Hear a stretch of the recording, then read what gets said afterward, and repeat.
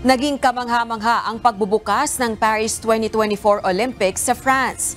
Pang-finale sa apat na oras na seremonya ang pagsisindi ng cauldron na hugis hot air balloon ni na French judo great Teddy Renner at sprinter Marie-Jose Perec.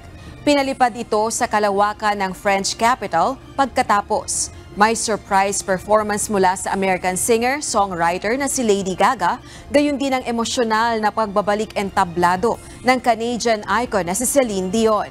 Kabilang naman sa mga nagdala ng Olympic torch ang Spanish tennis player na si Rafael Nadal.